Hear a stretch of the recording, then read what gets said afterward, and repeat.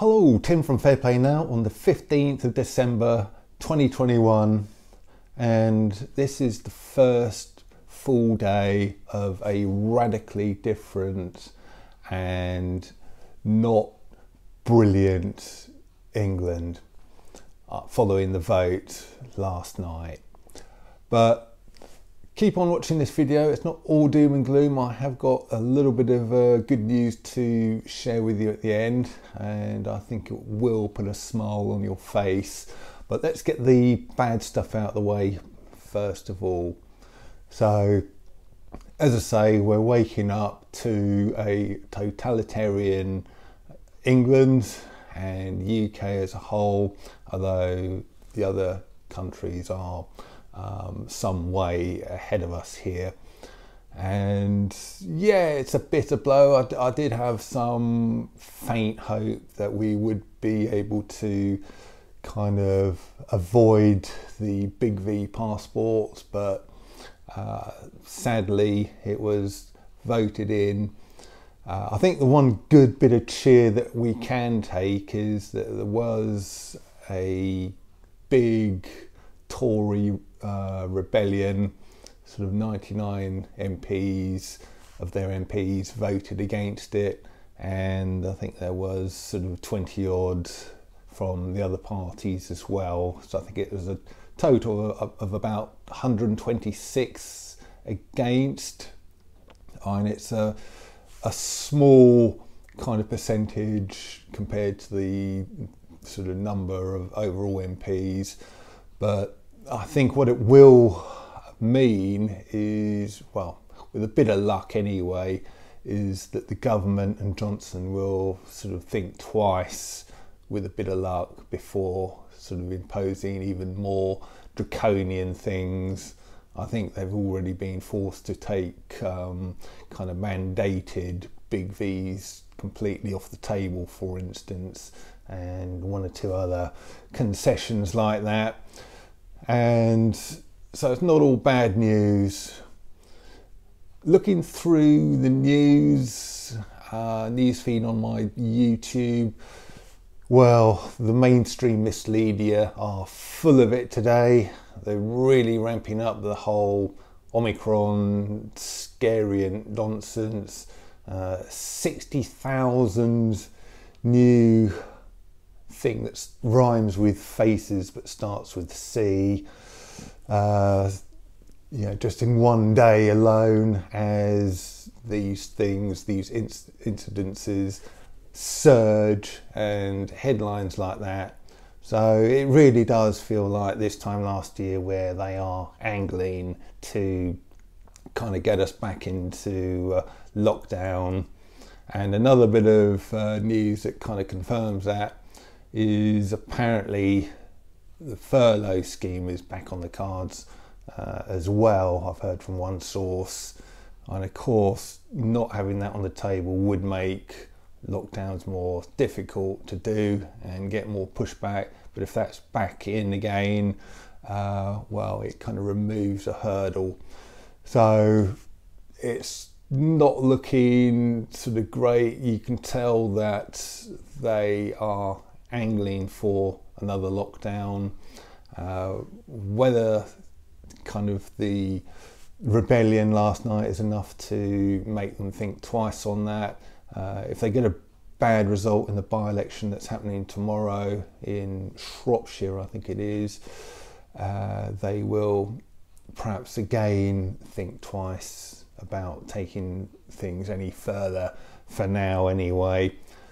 But I think what we've got to realise now is that this government just isn't on the people's side. You know, clearly they're not in favour of liberty, clearly they're not in favour of bodily autonomy, and we just really need to start, yeah, regardless of whether another lockdown comes in or not, we need, need to start thinking about how we can live our lives sort of independently of the kind of uh, sort of mainstream society, really, uh, certainly uh, separate from the government. we'll have to start looking into, and I'll, I have made a start in looking into some of these things, kind of uh, sort of forming little communities of like-minded people that we can perhaps sort of deal with and what have you, things like that, and using various ways and means to kind of fight back, push back, and hopefully eventually thwart these restrictive, horrible restrictive measures that the government just seems hell bent on foisting upon us and uh, keeping on foisting upon us in a kind of uh, uh, as far as lockdowns are concerned. So there is always going to be ways and means around these things. So sort of take heart, and I think more and more people are sort of waking up. And the one good bit of news, okay, I know it's only a small bit of good news compared to all of the heavy stuff going on right now, but as I said earlier, I think it's still going to put a little bit of a smile on your face. And that is, well, a couple of days ago, I recommended a song for you to see. Uh, we are the 99%. I'll put the link to it in the comment section and the description box uh, for you in the description box and the comment section below there.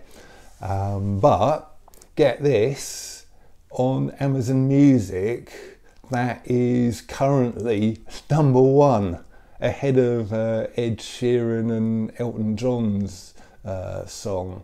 So that is incredible, isn't it? And kind of a few other signs as well. Um, the fact that that's number one currently, and the fact that my viewers and, and subscribers are sort of surging ahead, and it seems to be the case with other people as well, like-minded people to myself. Um, you know, Carl Vernon's uh, subscriber base seems to be surging. Uh, the guy I kind of recommended a few days ago, Lee from Veritas Vincit channel, and I've just had a look and uh, uh, his, the number of his subscribers has pretty much doubled in just the last uh, sort of three or four days, in, incredibly. So that means that if you take these factors together with the fact that that's number one, the 99% songs number one on Amazon, it means there is a lot of people kind of uh, awake now. And I think a lot of them, a good percentage of them, will be people who were kind of um, with the mainstream narrative this time 12 months ago, six months ago, three months ago, maybe even a month or so ago. And the fact that these things are happening, I think, is a sign that more and more people are starting to get highly uh, aggravated, shall we say. And so I'm going to end it on that positive note. So great news that 99% is at number one. And just one last thing. I know some people won't like me mentioning this, but you can download it from Amazon. Uh, I know that's kind of like giving money to the enemy, as it were, uh, almost, but it's uh, also giving money to the Daz band. And wouldn't wouldn't it be amazing and right old kick in the teeth for the globalists if this anti-globalist song was Christmas number one? and that would be uh, a great thing and the fact that you're using the you know their platform to make that happen as well would be um, something pretty good as well. But I'll leave it up to you whether you want to download that off of Amazon and sort of try and get it to number one, or whether you just don't want to touch Amazon with a barge pole. You can still kind of see it for free um, with my link below. So, with that cheerful thought, I'll leave it there. Back tomorrow. Tim from Fair Play Now. Thanks for watching.